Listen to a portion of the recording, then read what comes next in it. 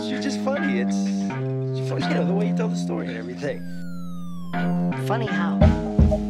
Come here, come here, though. Yeah, he's crazy, see? Who are you?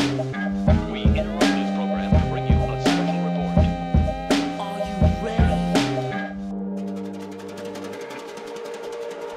friends, family. Hey, what's going on? How is everybody? Um, happy day to each of you.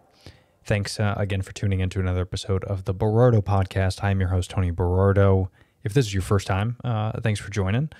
Uh, we talk about health, wellness, social interaction. I'll interview, you know, experts from various fields um, that I'm passionate about and that I want to learn more about. But also, too, it's a more often than not, it's a few episodes of me ranting. So this is one of those episodes. So uh, welcome. Um, I, I wanted to talk about, you know, especially with everything that's going on in the world, man, it is, it's almost like once you, once you get past one thing, right? Whether it's the pandemic or a mass shooting or politics or some guy cutting you off, like once you think you get past problems and you think they just go away, things seem to be like getting worse. And I, I don't know if it's any uh, person's fault in particular. Like, you know, it's easy for us to blame the president and the economy and yada, yada, yada, yada. But I just think us as humans were maybe we're just more stressed. You know, maybe we just, uh, we have a lot going on and it's affecting us in a negative way, like mentally. Our mental health is shot to shit. And, um, you know, it's making us act in, um, in ways that are obviously not beneficial to our health, but also not benefit or not beneficial rather to other people's health. And you know, a lot of that has to do with what we do on a daily basis. So I wanted to kind of go over a few things. I wanted to go over an article that I found that is uh, rightfully labeled uh, five side effects of working too much. So I thought that would be uh, super interesting to kind of go over and talk about. But also, I think it'll kind of help us a little bit because you know, you forget that what you do on a daily basis is you wake up and more often than not, you go to work or you work. And that's eight hours of your day. So, eight hours of your day plus the eight hours of sleep you're getting, that's 16 hours right there. That's more than half of your day gone. So, what you do in those hours, and eight of those you're sleeping. So, what you do in the majority of your day, which is working, um, is very important uh, to your mental health and to the people around you. So I wanted to kind of go over this because I think we do work too much. And I think we're working so much now and there's so much pressure because there's a lot of cool stuff out there that we want to buy all the new shit. So we're working a little bit harder to get the new shit and we're ignoring a lot of other things that maybe we should be paying attention to. So it's stressing us out and stress makes you do wicked things. So if you could figure out how not to be stressed, I think as a whole, your life is going to be better. So I wanted to kind of go through this article, touch base, add my two cents as per usual. Uh, but before I do, listen, there, there's nothing more important than than your mental health and your actual overall health. And an easy way to really get your your health back on track is supplementation. You know, I'm a big believer in supplements. You know, it's unfortunate that we have to take supplements because you know let's be honest the food that we're intaking now is just not as good as it, what it was 100 years ago. So we have to supplement to get all the right nutrients that our body needs and thrives to be better and stronger. And i'm always a big believer in you want to prepare for the worst right? So how do you do that is you take supplements you work out you be stronger because i don't know when there's going to be an apocalypse. I don't know when i have to outrun a tiger but i want to be prepared right and uh, perfect keto gives you everything that you need.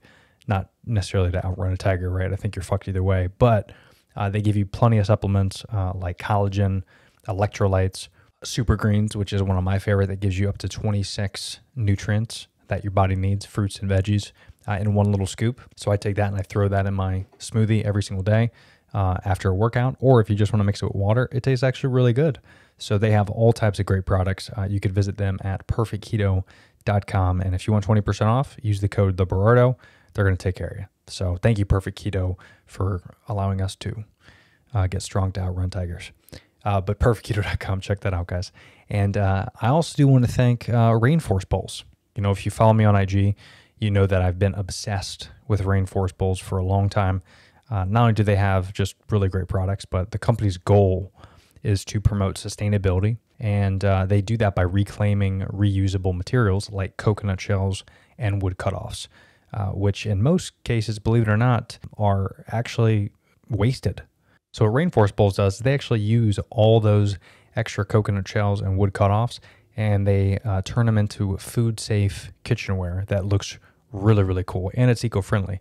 Um, you know, these purchases aren't just, you know, a way to look cool in the kitchen, even though that does help, but it all, goes to a good cause. So every single purchase that you uh, do at rainforestbowls.com, um, it's going to help the Vietnamese communities by working with trees for the future. They actually plant one tree for every product sold on their website at rainforestbowls.com. Year to date, they planted over 10,000 trees. You could visit rainforestbowls.com to find out all the details and all the good stuff they do. And of course, anything on the website, if you want to pick it up, uh, use the code the Berardo. You'll get 20% off your entire purchase. Again, it's all going to good cause, and the stuff looks really, really dope. So check that out, rainforestbowls.com. Uh, without further ado, let's get into today's episode. Okie dokie, artichokes. So um, this website, it's actually from uh, clevelandclinic.org. Uh, it's regarding a recent study. Uh, this was actually posted uh, back in October, but I just found the article, so I wanted to share with you guys. But there's it lists actually five side effects of working too much. Um, it reads work-life balance. We hear that expression all the time, but many of us are actually guilty of working way too long and not focusing too much on our health. So, how much work is too much work? A recent study by the World Health Organization at the International Labor Organization shows that working more than 55 hours per week can have negative side effects to your health. And for any of us that are good at math, that is 11 hours a day if you're working a five day week. Uh, so, what can you do to achieve a better work life balance? Psychologist Adam Borland talks about the warning signs to look out for. Okay, so here's the five side effects that it talks about. So, is working too much harmful? Let's cut to the chase, right? Uh, it reads here in short, yes, it is harmful. While our traditional work week is about 40 hours per week, it's very unrealistic these days. Many of us have work weeks that go far beyond 40 hours. Reasons can include an overload of emails, having a tough time creating barriers while working remote, and being short staffed at their business. It's really hard for people to turn it off, says this psychologist, uh, Dr. Borland. Okay, I'm going to leave the office and not think about it until I'm back tomorrow. But of course, as we know, according to the study, those 55 hours plus that they typically work a week has a huge strain on your mental health.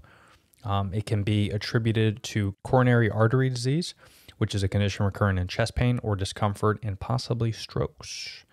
Uh, side effects of working too much, it continues to say. There are plenty of other ways working too much can impact your health. If you're overworked, your cortisol level, which is the primary stress hormone, uh, increases, which can lead to brain fog, high blood pressure, and a host of other health problems. Uh, it gives the example of it's like a car trying to run with every every limited amount of gas in the tank, says Dr. Borland. We're expecting ourselves to perform physically and cognitively on such a high level, but in reality, our reserves are all tapped out. Here are some common side effects of overworking, it says. You're not getting enough sleep. I'm guilty of that. I do not get enough sleep. And by the way, I should mention, some of you are probably listening to this be like snickering a little bit because I work so much myself. So this is very hypocritical. I will tell you though, the work that I do, um, I think will will continue to read this and realize that it's not really stressful, right? Because I mean, I do work a lot, and not only do I have a full time job, but uh, the wife and I are actually doing our business Meet Cute Box, so we do that on the side, and of course, I do this podcast. Uh, I even write uh, blogs for a couple companies on the side. So I do a lot of side work, but I'm very good at managing my time. So I think a lot of this has to do with being in a work environment, whether it's remote or not, and you're stuck eight hours a day and you're committed to this job. So for me, when I turn off quote unquote 5 p.m., my full time job, I turn that off where I'm a health and wellness consultant. So I'll turn that off at 5 p.m. And that right there, I'm done. I'm not answering emails. I'm turn off my notifications, like, and then I'll focus on either the podcast or Meet Cute Box. So I'm good at kind of managing that. But I wasn't always good at it. Like through a lot of trial and error, I realized how to do this. So this is just a good article, I think, in general, uh, for someone if you're not able to practice or you haven't practiced rather those steps. So let's go back to this. So uh, you're not getting enough sleep, right? That's number one. That could be a sign of you being overworked. Sleep improves physical and mental health. So missing out on these Z's can affect you to help cope with stress, solve problems, or even recover from an illness. Hmm, interesting. I think we all agree with that. Agree to that, right? Like every time you get sick, what's the one thing they say? Get rest. Well, if you're always getting rest, you're probably not going to get sick as much as someone who doesn't get rest. Another side effect: uh, you're not eating during the day. Interesting. Uh, if you're working too much, it's easy to become absorbed in a task and forget to eat throughout the day. Not eating and skipping meals can actually cause your blood sugar levels to drop, leading to low energy and even the chance you likely binge unhealthy foods later in the day. I think a lot of us have been there, right? Where you're not eating maybe breakfast or, you know, maybe you skip a meal or something like that. And then your next meal is full of carbs, salt, sugars, and really shitty stuff because your body is craving that because it really hasn't had anything all day.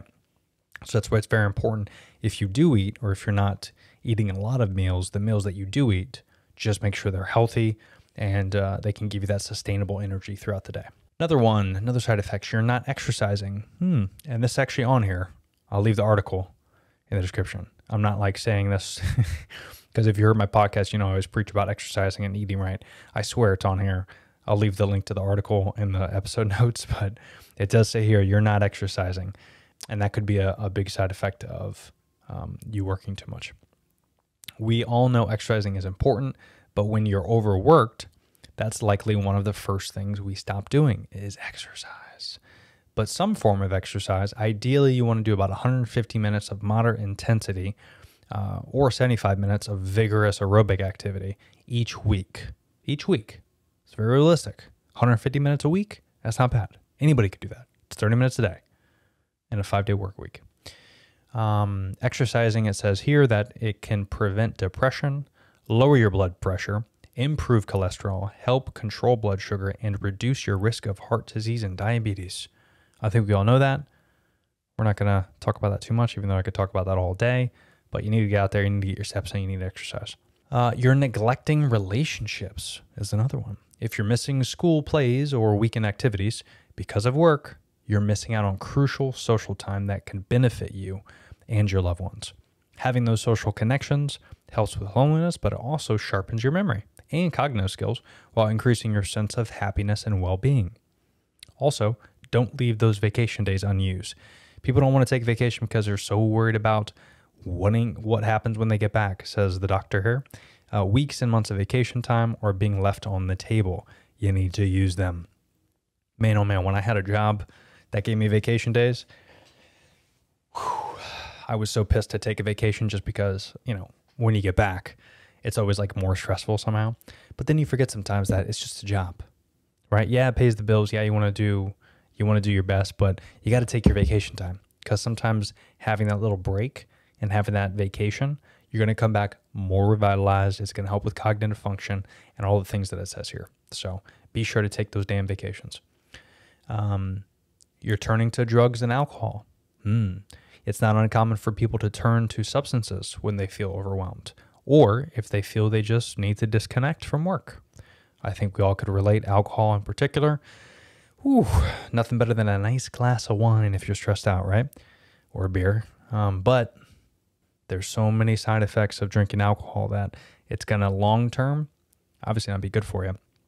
But studies are actually showing because it is a poison and because drinking alcohol just affects you on so many different levels, like a cellular level, your liver, your immune system. It just, it's a poison. It's a poison. That's why you feel like shit the next day. It's because your body's trying to fight that off. So imagine you're depressed, you're irritated at work, and then you turn to alcohol or drugs. Well, now the next day you wake up, you're feeling more shitty, you're feeling more irritated, more stressed out. So what do you try to do? You try to crank out some caffeine to get you where you need to be, right? Well, now you're cranking that caffeine, then you're going to crash. Now you're going to feel stressed and tired. So it's just a it's a horrible vicious cycle. So definitely drugs and alcohol are not the answer. Substance abuse can actually lead to the decrease in productivity and increase in physical injuries while you're actually at work and affects your ability to concentrate and focus. Real quick, we're going to shoot over to thank our sponsor for today's episode. This episode is brought to you by Meet Cute Box. Meet Cute Box creates monthly themed date night boxes. Each box is handmade with care based on your membership profile with up to four items plus a love inspired date night. What I love about Meet Cute Box is that inside every box, there are unique items gathered from local businesses around the world and packed together with a new theme every month, giving you a new surprise to enjoy. Memberships start at only $29.99 per month, with each box valued up to $100. To join today, visit meetcutebox.com. That's meetcutebox.com to receive a handmade box as early as next week. Meet Cute Box, the membership crate for you and your partner. Here's some signs of unhealthy work life balance. Uh, it states here sure, there are times when work can be stressful, like trying to make a big deadline. But if you're working more than 55 hours a week, it has become the norm nowadays. You might be suffering from a burnout and you don't even know it. Here are some signs that you might have an unhealthy work life balance. Listen up, folks. Number one, stop taking care of yourself. You stop taking care of yourself. You stop going to the gym, you stop working out, you stop going for walks. Number two, you're not focused on your mental health. Pretty self explanatory. Number three, your work no longer feels meaningful. Some of you, that's hitting hard, right? So you don't like what you do.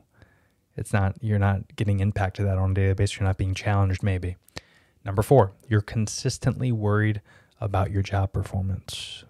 Number five, you have trouble establishing boundaries between home and work. Number six, you're lonely. Hmm, are you lonely? You could have an unhealthy work life balance. How to manage work stress, right? This is all we want. What are the answers? How do we manage it? Well, it can be very difficult to stop working if you're staring down the laundry list of to do items, but having a better work life balance will make you not only more productive, but healthier overall. Here are some very small but useful ways that you can ease work stress. Number one, establish some boundaries. Set expectations for yourself. Determine what you're going to do today and uh, what time you want to be finished by. Then put it down or leave it at that time, regardless of where you're at in the project. Have some boundaries. Number two, set a routine. Plan something you look forward to after work, like an exercise class or reading a book, maybe some yoga. I love routines. I did a whole podcast on this a few weeks ago, but routines are the best.